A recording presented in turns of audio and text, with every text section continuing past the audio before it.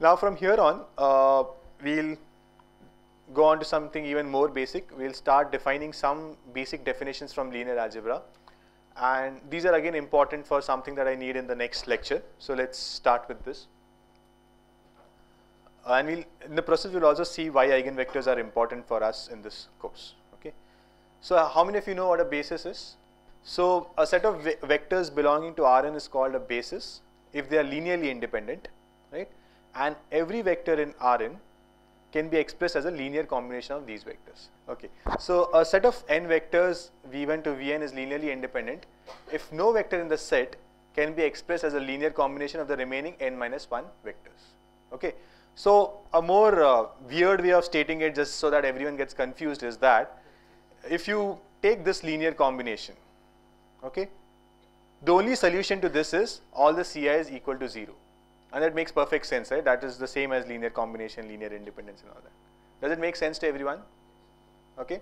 So what does linear independence mean? That any vector from this set cannot be expressed as a linear combination of the other set, other vectors in the set. And a more formal way of saying that is this. Okay.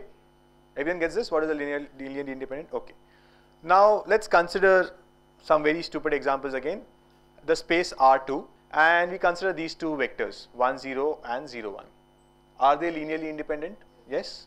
Okay, they cannot be expressed as a multiple of each other, right?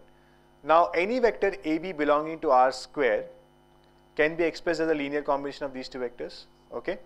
And uh, x and y are linearly independent. The only solution to C1 x1 plus, uh, sorry, C1 x plus C2 y is C1 and y equal to 0. What about if I move to R3, 1, 0, 0, 0, 1, 0 and 0, 0, 1. So x, y and z axis, right, the unit vectors. So in fact, x and y turns out to be the unit ve vectors in the direction of the coordinate axis. And we are used to representing every point in R2 as a linear combination of these two vectors, right? That's exactly what I what we do. So when we say that I have a point 2 comma 3, I'm actually telling you that the point is 2 1 0 plus 3 0 1, right? I'm expressing it as a linear combination of the coordinate axis. But now there is nothing sacrosanct about x and y, right? I could have chosen just about any other axis. Okay, so in particular, we could have chosen this as our basis. Are these two vectors linearly independent? Can any vector in R2 be expressed as a linear combination of these two vectors? Sure. So I give you a vector AB. How are you going to express it as a linear combination of these two vectors? So you'll do it this way, right? How will you find the values of x1, x2? solve a linear system of linear equations, right? So this is what you will do, and you all are good at doing this. And what do we actually do when we do this? What is the algorithm that we use? How do you solve this? What is the algorithm that you use for solving this? Gaussian elimination, right? So in two variables, of course, we don't call it an algorithm. That's what we did in 8th standard or something. But when we come to engineering, we call it Gaussian elimination, right? So the same algorithm. Okay. So in general, given a set of linearly independent vectors, we can express any vector z belonging to Rn as a linear combination of these vectors, right? So I can say z is equal to alpha 1 u1 plus alpha 2 u2 and so on, given alpha 1 to alpha n are linearly independent, okay? So that means any vector in Rn can be expressed using these vectors which form the basis of Rn. Does that make sense? Okay, that's why they call the basis vectors because anything else, these are the fundamental vectors. Using these, anything else can be expressed in that space. Does that clear? Okay. So this is how it will be. How do I write this in uh, matrix notation? I see a lot of these and these things. I don't really understand what you mean by that, but okay, yeah, good. So this is what you mean, right? So just rewriting the same in matrix notation. And now this is again a dash, a system of linear equations. There was a lot of space to fill in one dash, but good. So system of linear equations, right? And again, you can solve them using Gaussian elimination. What's the complexity of Gaussian elimination? let's see options, right? n, n square, n cube, n raised to 4. उससे ज़्यादा क्या होगा? n cube, right? So Gaussian elimination, the complexity is O n cube, right? And I'm not doing all this just for the sake of time pass. I have a point to make, which I'll make on the next slide, right? So now this was for any basis. That means if you have any n linearly independent vectors. Now I'll consider a spatial basis where instead of n linearly independent vectors, in addition, these vectors are also orthogonal. Okay, Orthogonal vectors are linearly independent. Okay. So a set of orthogonal vectors are linearly independent, but the converse is not always true, right? Okay. So now let's see what if you have an orthonormal basis. That means a basis consisting of orthonormal vectors. So orthonormal is a combination of two words. Ortho means the vectors are orthogonal and normal means all the vectors are unit vectors. That means I have normalized them by their magnitude. Okay, fine. So what is the condition that holds? ui transpose uj is equal to 0 if i is not equal to j and ui transpose ui is equal to 1. Okay. Now what happens in this spatial case? So we have this again we can express any vector z as a linear combination of these. Okay. Now let me try to do this. I'm just pre-multiplying this equation by u1 transpose. What happens on the right hand side? Everything disappears. All of these terms will disappear because they are of the form ui transpose uj where i is not equal to j. And the first term is 1. So what remains? Alpha 1. So you can directly find alpha 1 using a dot product of two vectors. What's the complexity of this operation? n. Right? It's just n products. Okay. Now how many such alphas do we need to find? N of those. So what's the complexity? n square. So that's you now you see why an orthonormal basis is a very convenient basis. You can get all these coefficients just by doing a dot product between two vectors. And later on I'll show you that you might not need all of these, you might just need some subset k of these, right?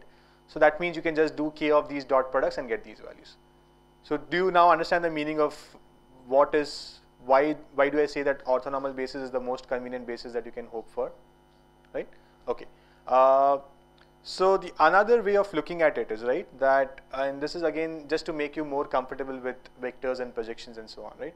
So this was your original point z1, z which is a comma b, right?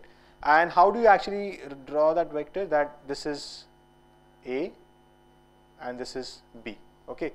So how do you find the coordinates? Actually you project onto your basis vectors which were these x and y vectors. That's how you found the uh, components along those, right, the coefficients along those.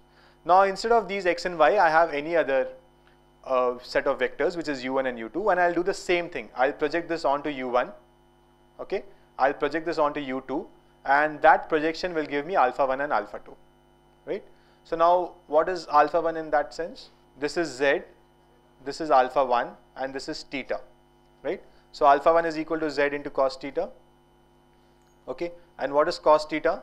Okay, so again you arrive at the same thing, right? So you're essentially taking a projection of the vector onto your basis. Is that fine to everyone? Right, just two different ways of arriving at the same formula.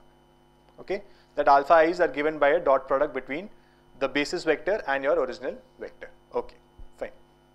So an orthogonal basis is the most convenient basis that you can hope for. That's the point which I wanted to make. Everyone is convinced about that? Okay. Now, but what does any of this have to do with eigenvectors? I started off with eigenvectors. I proved one property there. And then I came to this linear algebra basic definitions. I defined what a basis is. It's a set of linearly independent vectors. And I eventually showed you that an orthonormal basis is the most convenient basis that you can hope for. Now, what does any of this have to do with eigenvectors? Huh? Always for a square symmetric matrix, right? Why do we care about square symmetric matrices? Not sure yet. So we'll get to that. Okay. So so first of all, it turns out that the eigenvectors can form a basis, and this is for any matrix, right? So the eigenvectors of a matrix having distinct eigenvalues are linearly independent. Okay. So does every matrix, if I have an n cross n matrix, will it have n eigenvectors? No. It can have less than equal to n eigenvectors, right? Depending on the rank of the matrix. So what this is saying is that if these eigenvectors have distinct eigenvalues, okay, then these eigenvectors would be linearly independent. Fine? Okay. And turns out that for a square symmetric matrix, this is even more special. The eigenvectors of a square symmetric matrix are orthogonal to each right? And we already know that orthogonal is good, right? So remember when we have orthogonal, we don't really care about orthonormal because that's just a simple operation, right? So if you have a set of vectors u1, u2, u u3 which are orthogonal, you can just divide them by their magnitudes and get a set of orthonormal vector, right? So orthogonal and orthonormal, I'll use it interchangeably, okay? And what have I done? Thus they form a very convenient basis, right? So the eigenvectors of a square symmetric matrix form a very convenient basis, right? So that's how I connect the first part which was about eigenvectors to the second part which was about basis, okay? And why would we want to do this, right? Why we already have the coordinate axis. That's a very good basis, 1, 0, 0, 0, 1, 0, 0, 0, 1. And in n dimensions similarly. So why would I want to use a different basis? I've said that eigenvectors is a very convenient basis, but why do I care about it? I already have a very, very convenient basis, which is just these one hot vectors along these directions, right? So why do I care about a different basis? Okay, I understand that and I'll, that is there somewhere, but before, something more than that? That is one advantage which I'm going to talk about. What else? More interesting, okay? In what sense? I love the power which comes with my job, right? You give a right answer and still I can embarrass you. okay, uh, no, so that's correct actually.